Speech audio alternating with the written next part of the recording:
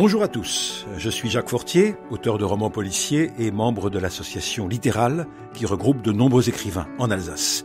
Et j'ai le plaisir de vous présenter cette émission à voix haute que RCF Alsace propose avec le partenariat de Littéral.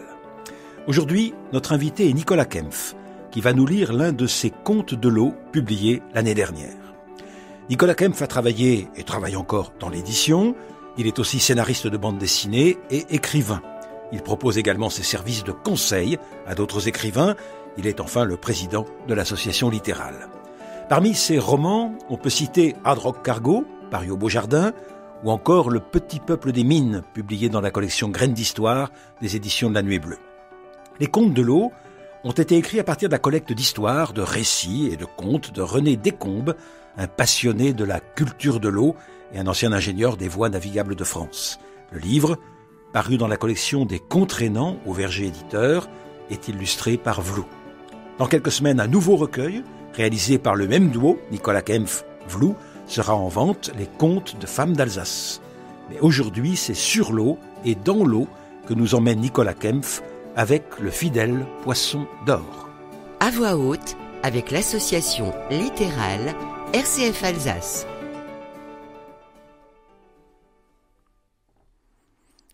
C'était au temps où le lac d'Alfeld, non loin du ballon d'Alsace, était encore un petit lac naturel. Dans les montagnes, les châteaux ne ressemblaient pas encore à des ruines. De méchants seigneurs les tenaient et attaquaient les pauvres gens. Un couple habitait au bord du lac. L'homme, tous les jours, allait poser ses filets, mais ramenait une pêche toujours trop maigre. La femme, quant à elle, allait à la cueillette dans la forêt. Un jour que l'homme, encore une fois, filait sa scène dans les eaux du lac, il sentit une petite vie qui se débattait entre les mailles. Il ramena le piège, plein d'espoir, et se trouva face au plus curieux poisson qu'il ait jamais vu. Il n'avait jamais rencontré cette espèce. Ses écailles semblaient d'or pur et l'éblouissaient alors qu'il le tournait et le retournait à la lumière du soleil. Ma foi, c'était mieux que rien. Le pêcheur s'apprêta à ramener sa prise à la maison lorsqu'il entendit une voix l'interpeller. Un peu de bon cœur, l'ami. Ce lac est ma maison, je ne dois pas le quitter. Le brave pêcheur hésitait. Peut-être que le poisson ferait une trop maigre friture, mais il avait tout de même des écailles d'or. On pourrait en tirer un bon prix. Je t'en prie, remets-moi à l'eau. Si je reste trop longtemps à l'air libre, je vais mourir. Mais si tu me relâches, j'exaucerai tous tes désirs. Le pauvre homme haussa les épaules. Merci, mais je ne veux rien. Il relâcha dans le lac le poisson, le petit poisson aux écailles d'or. De retour chez lui, sa femme, qui n'avait rien trouvé dans la forêt, l'interrogea sur sa pêche. Alors, qu'as-tu attrapé? J'ai grand faim, pas toi? Hélas, je n'ai rien pris. Oh, il y avait bien ce petit poisson couvert d'or, mais il était si triste, si gentil. Il m'a demandé, avec sa voix flûtée, de le laisser filer, alors. Alors tu lui as obéi, espèce d'andouille. Sais-tu que nous aurions pu le revendre au marché et en tirer beaucoup d'argent? Un poisson doré et doué de parole. A-t-il dit autre chose? Rien du tout. Il m'a juste proposé d'exaucer tous mes désirs. Mais quel crétin tu fais? Tu vas retourner sur le lac et appeler ton petit poisson d'or. Tu vas lui demander du pain pour notre table. Allez, plus vite que ça. Bien entendu, le brave pêcheur reprit sa barque et rama jusqu'au milieu des eaux. D'une voix hésitante, il appela Petit poisson d'or, petit poisson d'or. La créature ne se fit pas attendre. Le bonjour, brave homme. Qu'est-ce qui t'amène par ici? Eh bien, tu te souviens que je t'ai laissé la vie sauve? Il faut croire que j'ai eu tort, puisque ma femme est furieuse. Elle m'envoie te demander du pain. Ce n'est que ça. Fort bien, tu seras exaucé. Retourne chez toi. Jamais le pain ne manquera à ta table. Le pêcheur, rassuré par l'issue de l'affaire, rentra chez lui. Et comme le poisson d'or l'avait promis, le pain ne manqua plus à sa table. Mais son épouse ne l'entendait pas de cette oreille. Quand elle fut bien gavée de pain, elle se remit à ronchonner.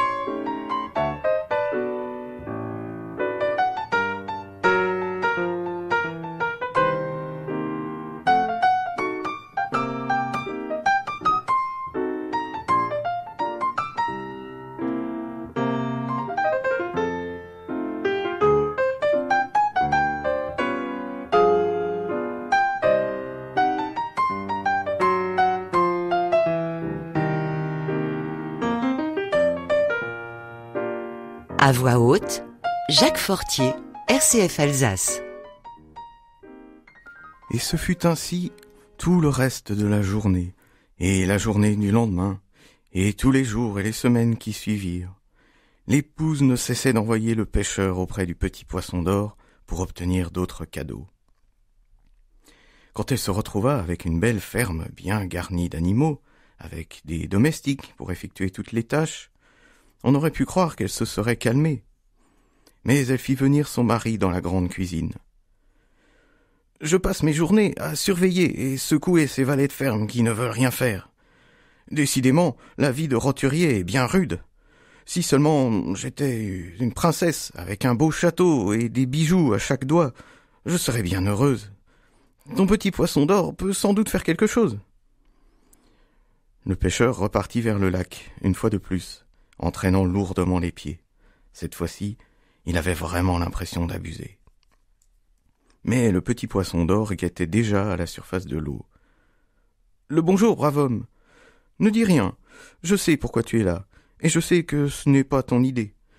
Tu seras exaucé. Quand tu retourneras chez toi, ta femme sera devenue princesse d'Empire. Mais rien ne presse, n'est-ce pas?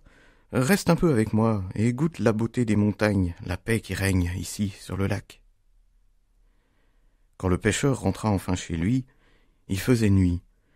Il ne reconnut pas sa demeure, qui s'était transformée en un château imposant. Il vit sa femme, vêtue comme une princesse, qui se promenait nonchalamment dans les jardins. Sachant d'où ils étaient issus tous les deux, il voulut la taquiner. Bonsoir, belle princesse. Êtes-vous bien satisfaite à présent? Mais cette plaisanterie ne sembla pas faire rire la dame. Elle appela la garde et commanda d'une voix grinçante. Je ne sais pas qui est ce vagabond. Donnez-lui du fouet pour son insolence. Puis mettez-le aux écuries, afin qu'il gagne son pain, comme nous tous. Et le pêcheur, après avoir reçu du fouet, fut obligé de travailler aux écuries. Il s'en accommoda. Après tout, il avait de l'ouvrage, une assiette pleine, et une parfaite tranquillité. Mais la princesse formait de nouveaux rêves, plus grands encore. On vint chercher notre homme aux écuries, sur son ordre. Cette fois-ci, madame voulait devenir impératrice.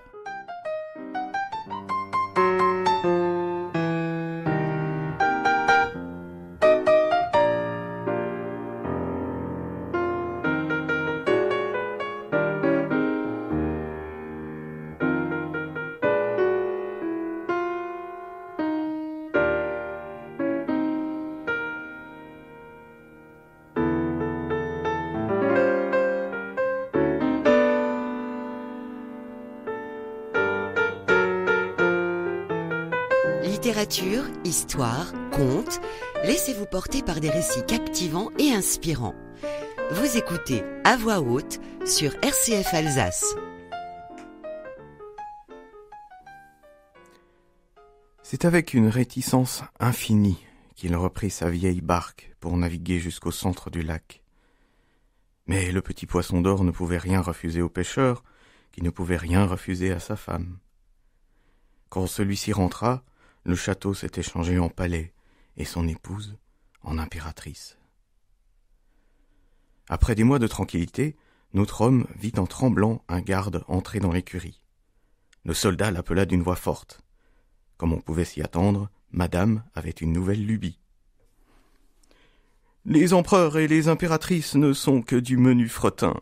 Ce que je veux maintenant, c'est régner sur la totalité de la terre, ainsi que le soleil, la lune et les étoiles.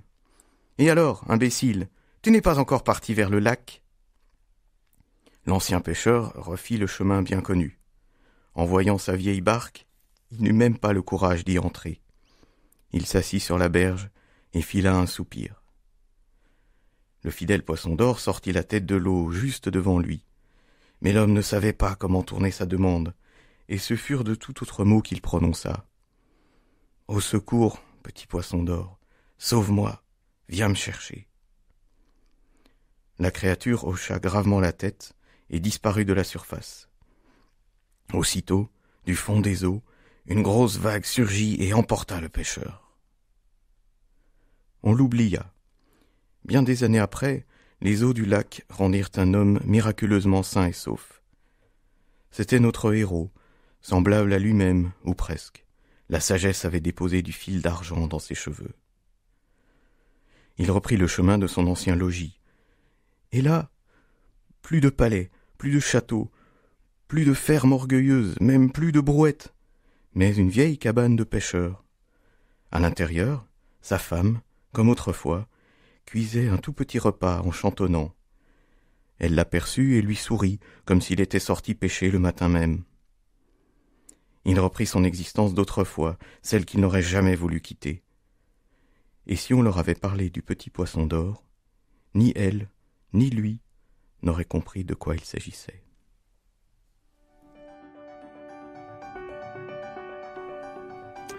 Merci à Nicolas Kempf. Si vous en voulez un peu plus, les contes de l'eau d'Alsace et de Moselle, c'est au Verger Éditeur, dans la collection des contes rénants. Le recueil est illustré superbement, mais à la radio, il faut me croire sur parole, par Vlou. Très bonne journée à tous.